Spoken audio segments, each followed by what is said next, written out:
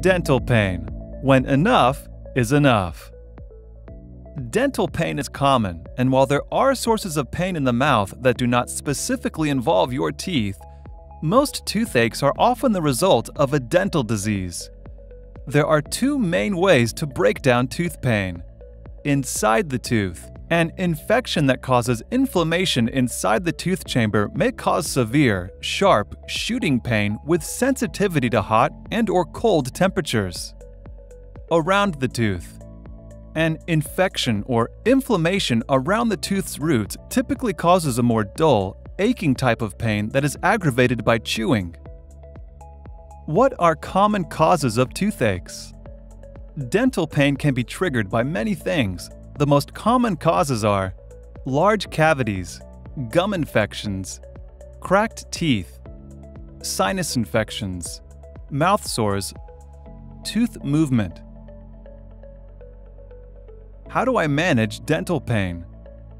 It's okay to try over the counter medicines for temporary relief, but please never attempt to treat the cause of dental pain on your own, as you'll most likely make things worse, not better. All dental pain should be thoroughly evaluated by a dentist in a timely manner, as common problems like cavities, cracked teeth, and gum infections will only get worse with time if not properly treated. When is my pain an emergency?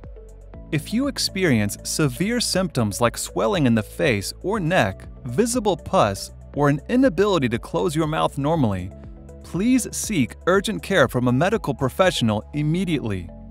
Dental pain, your next steps. If you're suffering from dental pain, do not put off your next dental visit. If you work with a dentist early, you and your dentist will be able to stop small problems before they develop into large problems. While regular cleanings and checkups do take some time and effort, they are not just about maintaining a beautiful smile.